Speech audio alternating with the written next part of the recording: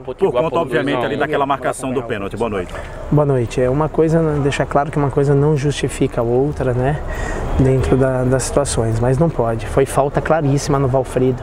O cara fez a carga por trás do Val.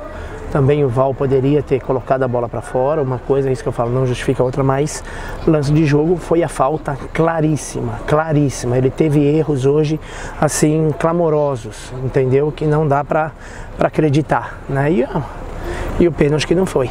Né?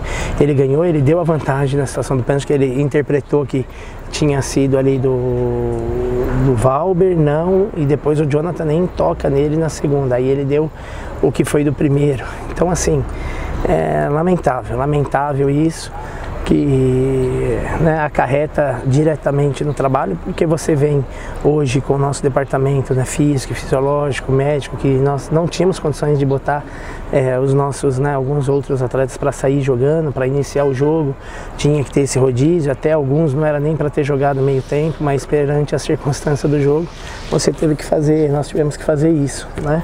Então é, a indignação foi essa, mas deixo claro, tudo foi com respeito, com educação a ele e ele literalmente não teve né, a, a mesma é, categoria né, que eu fui reclamar que não tinha sido pênalti, né, e ele só falou para mim, sai daqui, você vai sair e me deu o cartão vermelho. Então assim, é lamentável o despreparo né, de um profissional desse. O professor Simão falou aqui pra gente depois da partida que depois da, da, do término do primeiro tempo, né? Ele foi questionar o árbitro pela questão do primeiro gol do Potiguar e aí o árbitro teria admitido pro Simão que o Robert estaria em condição de impedimento, né? O Simão chegou a falar sobre isso no vestiário porque é uma declaração bem forte, né? E assim, partindo do árbitro é uma coisa de certa forma grave. É, Rodrigo, não, assim, eu não, não vi isso. Literalmente, além do que falaram de não ser impedido, o impedimento eu não falo. O que eu vi e que foi, foi a falta clara. Ele fez, o Robert fez a, a, a carga clara com o braço esquerdo nas costas do Valfrido. O Val estava inteiro na bola, de costa, ele fez essa carga e ele não deu a falta. Né? Então ali daí desencadeou a sequência do lance. Né? Então assim, é uma falta que é, N no jogo ele deu várias dessa, né? E ela foi, ela aconteceu e ele não deu ali.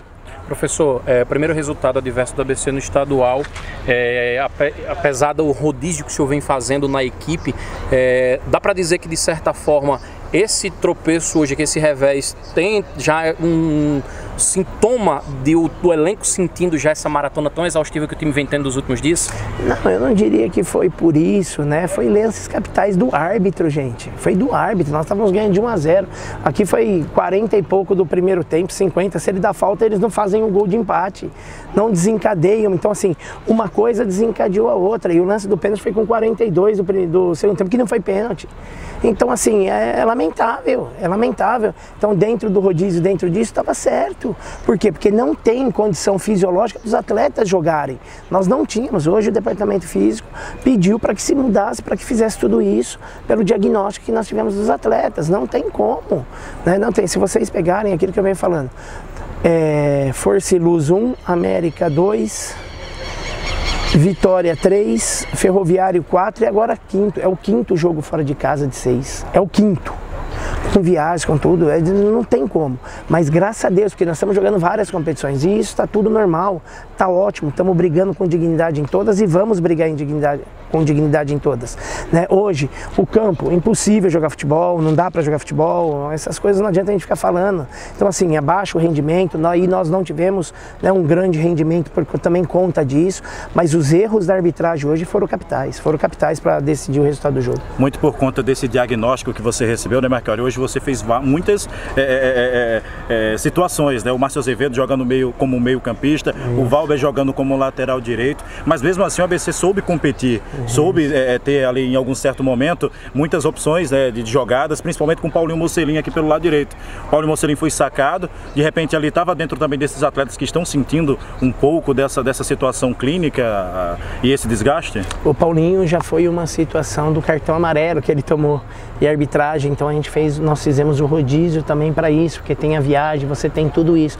Então nós estamos tendo que rodar todos eles por conta dessa determinação da nossa parte física e fisiológica. Então a gente tem que respeitar isso, né? Então foi dentro disso todo esse planejamento que tivemos e é como você falou, tava assim, não fizemos, né, um primor de partida, porque é um campo impossível de jogar futebol, mas assim, dentro de uma normalidade, estava todo o jogo controlado.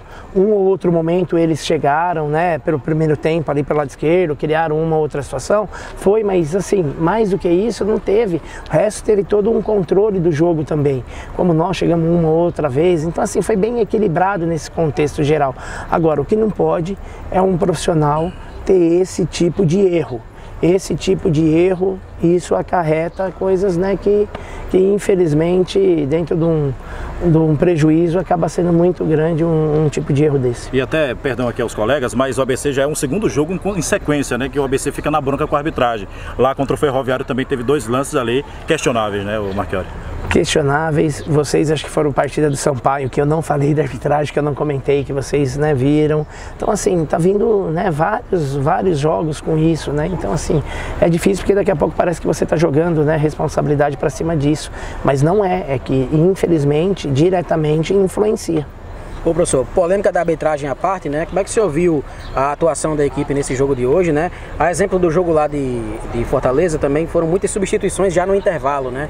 A do Paulinho o senhor justificou aí pela questão do cartão amarelo e as outras, né? Qual foi a análise que o senhor fez do, da atuação no primeiro tempo para fazer as mudanças no intervalo? As outras era a situação de minutagem, né?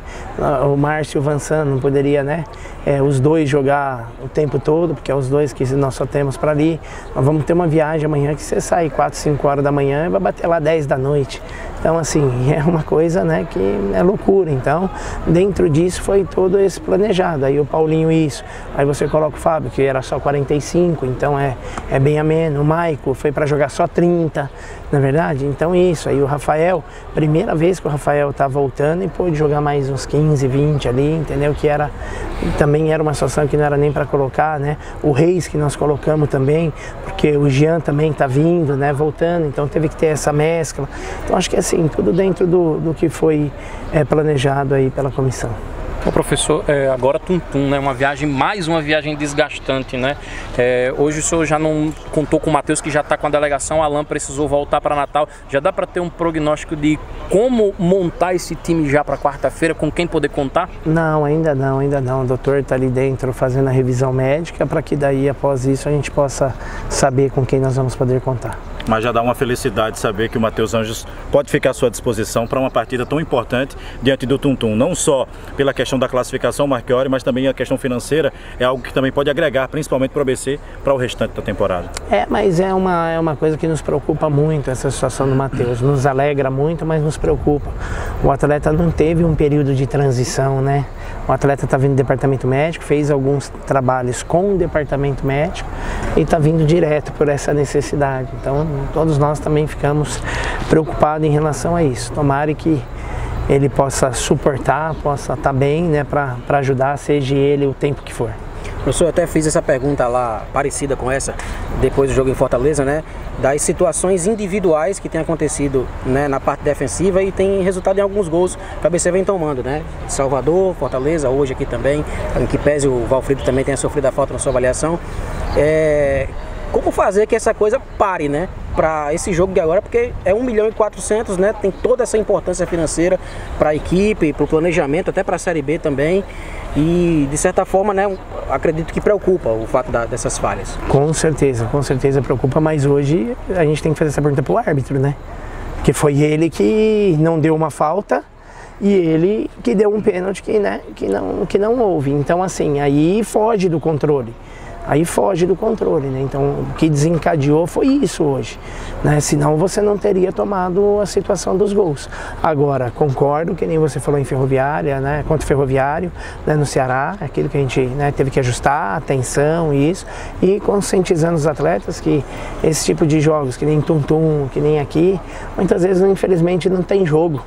É triste dizer isso, porque um gramado desse que não nos proporciona nada é um jogo que é ligação direta, é um jogo onde você tem que estar concentrado, é um jogo onde você tem que competir e duelar muito mais. Professor, é, se é que dá para o senhor responder, assim, né? Ali a todos esses erros de arbitragem pontuados aqui, também a condição do gramado, que a gente viu que também realmente está bem difícil. Dá para tirar alguma lição do desempenho do ABC aqui hoje? Eu tiro o que fica é a evolução que o Paulinho Mocelin está tendo, né?